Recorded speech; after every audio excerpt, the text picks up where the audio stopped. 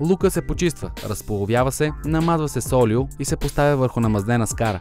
Поръсва се с листенца мащерка и се готви около 10 минути на слаб огън.